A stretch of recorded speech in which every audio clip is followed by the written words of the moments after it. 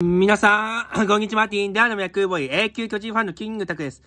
広島、オリックス、前の半球ですね、はい。大石清さんの強さ言います。大石直さんじゃないです。大石清さんです。はい。本当にすごいピッチャーで、広島時代本当に脱三振を取れるほど、本当に防御率も勝率最高17勝と本当にキャリアハイをマークしたピッチャーでございます。もう、ストレート、スライダーが本当にカミソリですんごい、カミソリ技ですごいです。もう誰も手に負えません。確か大石や太郎さんとトレードして大石トレードという世紀の大トレード、オリックスでも、まあ奮闘してはおりますが、引退後は投手コーチとして活躍しておりますね、はい。